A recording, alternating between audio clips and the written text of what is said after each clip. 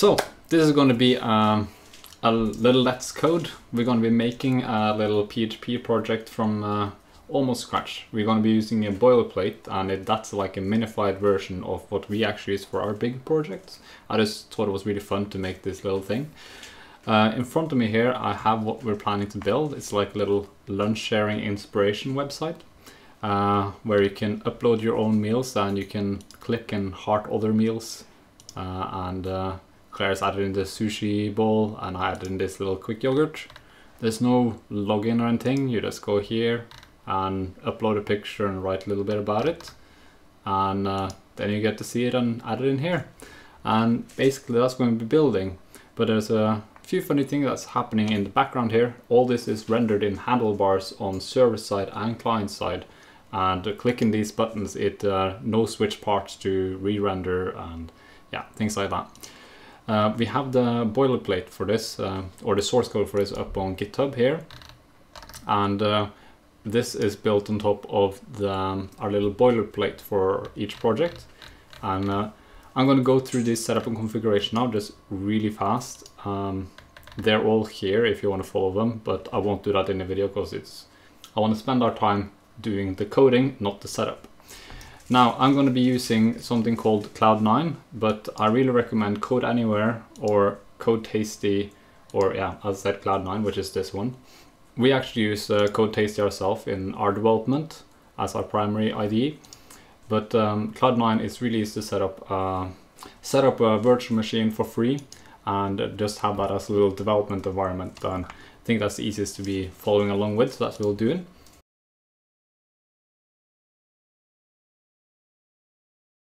Now once our workspace is up and running, we're just gonna close everything up, uh, delete our hello world, and uh, also delete this readme.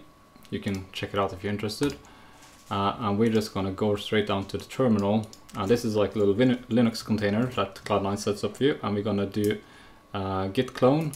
And we're gonna call this pålegg, which is the Norwegian word for anything you can put on top of bread. Now with that cloned in, we get this little folder popping up here. We're gonna change directory into that. I'm doing this part fast because I want to focus on the code and I uh, want to get into the fun part of this.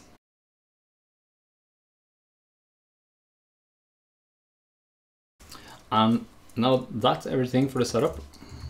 Just gonna start the grunt watch task, which is gonna what's gonna keep things running in the background. Now there's one more thing we need to do. We need to make sure that Apache is uh, set to um, the right directory and on Cloud9 it's uh, opening up this folder and making sure that our document root is set to our live folder. It's important that it goes into the live because that's only thing that's going to be exposed to the public is right in here and that's how this is set up. I'm going to exit that and save and I'm going to press run project which is going to start Apache and the web server is going to come up and running. Now let's preview what we currently have up and running and we should be seeing something like this. Where we have your project this view has been called two times. Now this is the first time was from the client side on PHP and it runs once on the JavaScript side.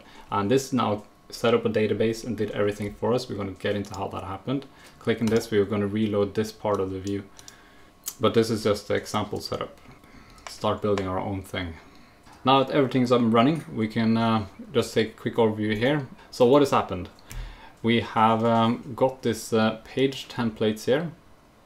And uh, this contains handlebars and Sass. That's going to be the main part of the website.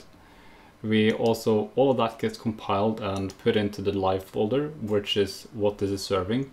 The live folder is what's exposed to the public. And this index.php file is basically just going back into our source directory. And now this is where we are going to do all our good coding in uh, these files. And um, where we're going to be building the back end of the application.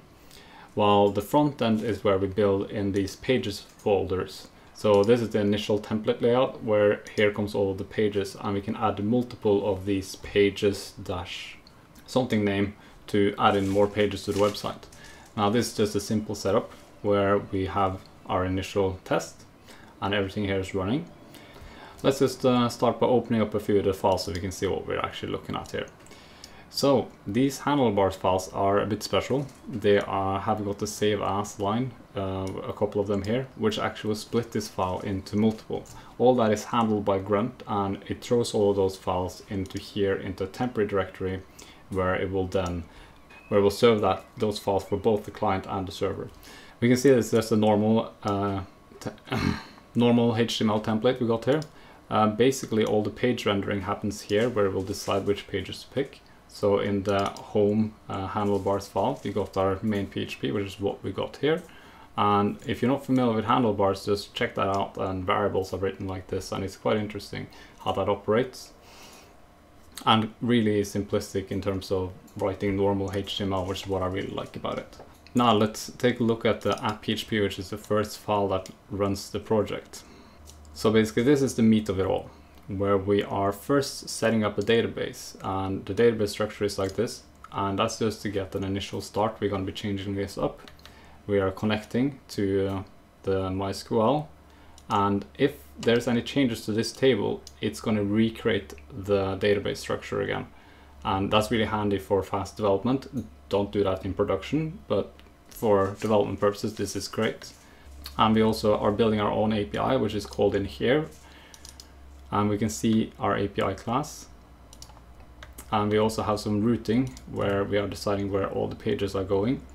And the more pages we add in here the more URLs we're going to be having. So we are at the moment just one home directory with a title and um, what file that's going to be rendering with what API call. That's just an example right now. And this is all been routing together and I see that the indentations here are a bit mixed up, so let's go into tab size. There we go.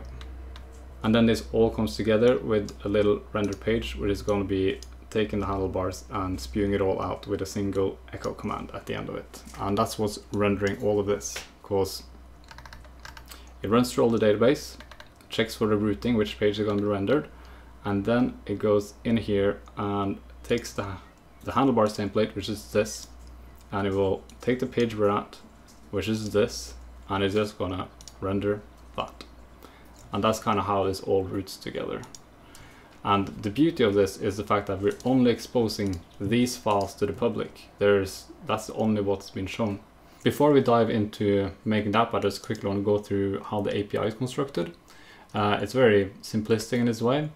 It uh, checks if you're doing any AJAX call to it, and then you will do the proper queries. It does some error handling, and then basically below here, you just start writing your own API calls. And you can just make multiple of them and uh, write them as you wish.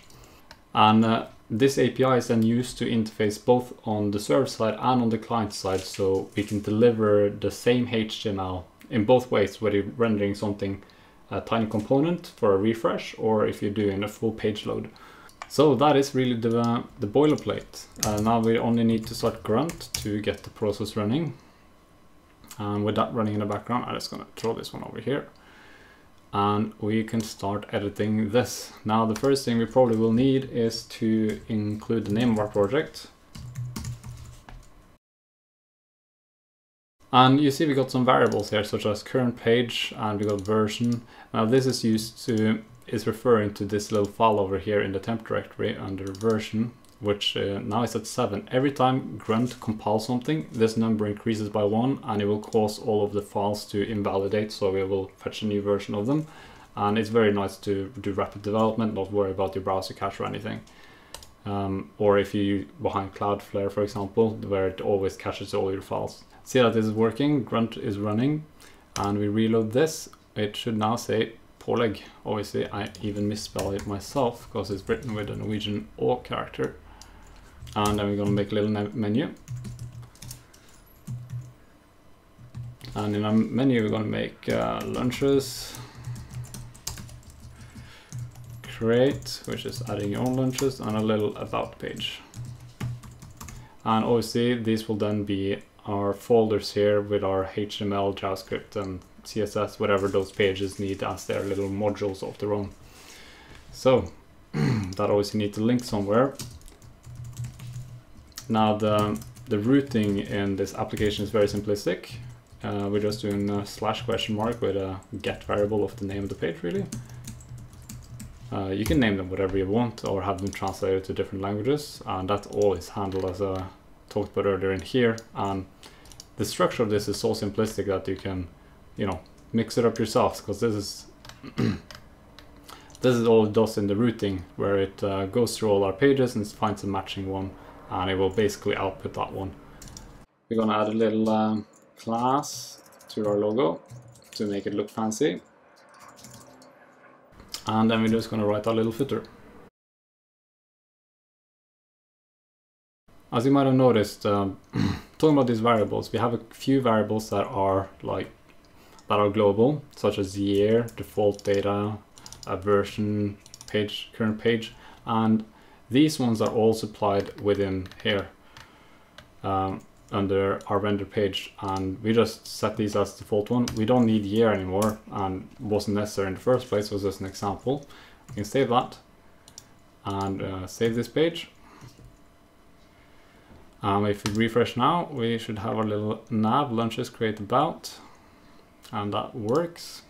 If you see a little bit further down here, we have some standard error handling and some loading things, which is just defaults, which will be, if there's any issues, they'll be rendered instead of the page, or like as temporary fillers while it's waiting for the API to respond. Let's make this uh, look a little bit snazzy, shall we? Now this looks pretty boring. We're gonna just spice it up a little bit with some CSS. In our template Sass, we have some standard uh, helpers which are set up here.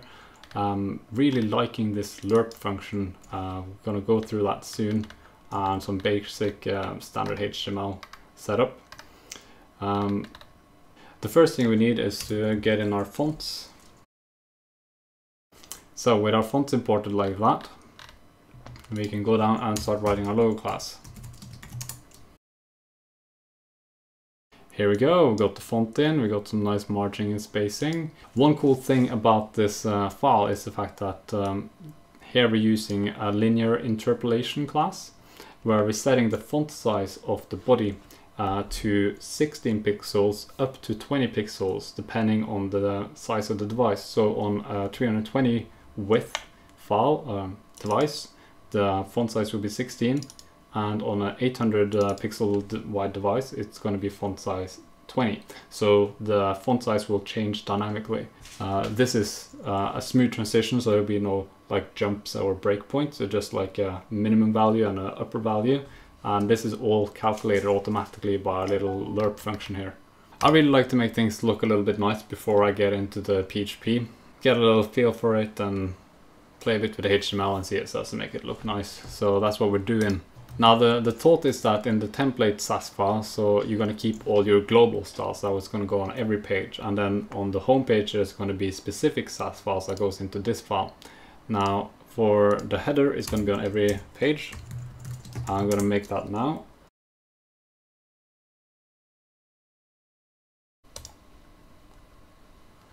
There we go. Now that looks pretty funky.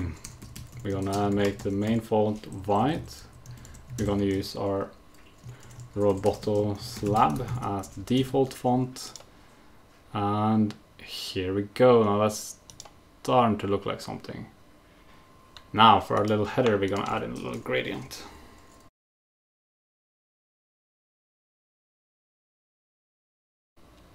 Now I find that this view can be a bit hard to inspect what's actually going on, so it can be actually quite a good idea to close that up and have a separate browser window set to the address of uh, your container. Inspect here, header. Okay, it's complaining about that. Yeah, because lighten. Yeah, and now I noticed that we actually have a little typo in our lighten command here. There we go.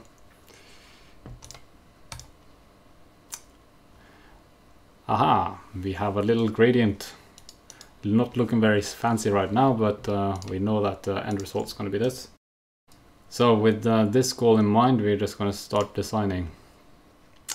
Right, I'm just going to quickly style this uh, navigation here so it doesn't just look like some small buttons in the top right there. We reload this page now. Aha! So we got this little setup, little hover effect and everything. I see I got the text decoration and I noticed that's because we have uh, this set on gets high priority. I'd rather have the underline appear on our hover state instead. There we go, that looks much nicer. Um, for now, actually, I'm gonna remove the footer because I think that is just so inconsequential and I want to get to the, the fun part. So uh, without footer, we can uh, we got our header done. We can start focusing on our content. So in our content, we have our home handlebars file here, which basically renders into HTML files. Um, so according to this, we are going to make a little uh, text tag here. Actually, to copy this text and we're going to make this area and have it white on full screen. So that's what we're going to be doing next.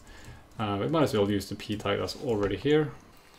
Uh, like to close the files we're not working with so we only have what we need open. Now we're only going to need the home and the home styling. So the white area, we're going to make a little uh, container div where the main content of the website goes. And in here we're going to be rendering our meal. So hello world, just to get this going. Yes, we have the beautiful orange text and a little hello world. So we don't want the orange text obviously. The, the content class is going to be used on pretty much all the pages is the plan. So I'm going to throw that into the, the global st uh, styles and make a little uh, content class after our logo. One of the things I really like about uh, Sass is the fact that you can do these things to modify the colors with the brightness and the fade out and things like that and it's very handy way to just like get things working quite quickly. Now here we go, now that's starting to look like something isn't it? Uh, we still have that ugly thing, we haven't saved this file. There we go. Uh, we're also gonna have like a global text wrap class now the reason we're doing both the text center and margin auto is because we want the maximum width of this text to be restricted with our lerp function.